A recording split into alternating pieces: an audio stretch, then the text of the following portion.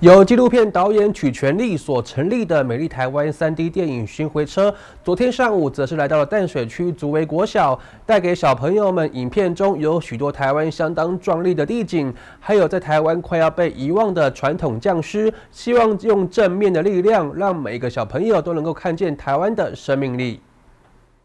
由纪录片导演曲全力所成立的美丽台湾三 D 电影巡回车，在昨天上午则是来到了淡水区竹围国小，为偏乡学童有机会接触到三 D 电影。美丽台湾从过去二零一四年开始展开全台湾的巡回放映活动，针对许多偏远地区小学或者是距离都市较远的郊区学校，将台湾各种美丽的风景，还有快要失传的传统技艺匠师，用三 D 电影呈现在小朋友的眼。前对，这是我们在二零一九年，然后到的第一站，来到我们诸威国小。呃，我们是二零一四年就一直陆续在跑，然后其实已经跑了将近快一千五百所学校。对，呃，我们今天看的是记录台湾的呃地景，那以及一些百工的匠人，因为。很多技术即将失传，蛮可惜的。包括刚刚小朋友问什么是蝴蝶，什么是脏水，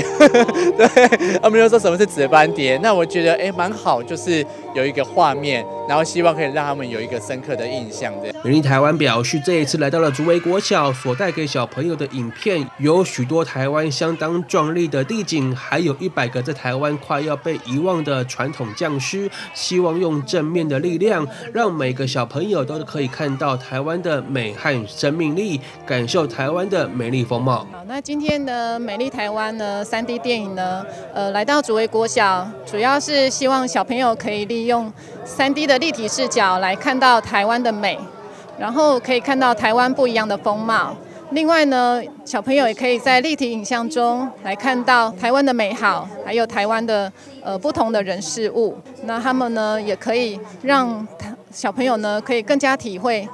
呃，小朋友对于台湾这片土地的爱，其实我觉得这活动是非常的有意义，让小朋友可以从电影来认识台湾、了解台湾，并且进一步的保护台湾、认同台湾。我想这一件事情非常的难得，所以说从国小开始扎根，我们让小朋友学习到我们自己的美丽的生态环境，并且透过这个三 D 的电影哦，也让他们感受到这个科技的一个进步哦。我想这样子都是一个很有意义、寓教于乐的活动。当三 D 值班蝶。就在眼前飞舞，栩栩如生的摆动翅膀，仿佛身临其境的视觉效果，让小朋友惊呼连连，欢笑不断。校长表示，这一次很开心能够邀请到美丽台湾 3D 电影巡回车来到校园当中，让小朋友可以看到 3D 立体电影，大家也都非常高兴，也相当开心。另外，更希望借由 3D 的科技，让孩子了解到台湾还有很多美丽的自然地景，还有人文风情。记者许端一的去采访报道。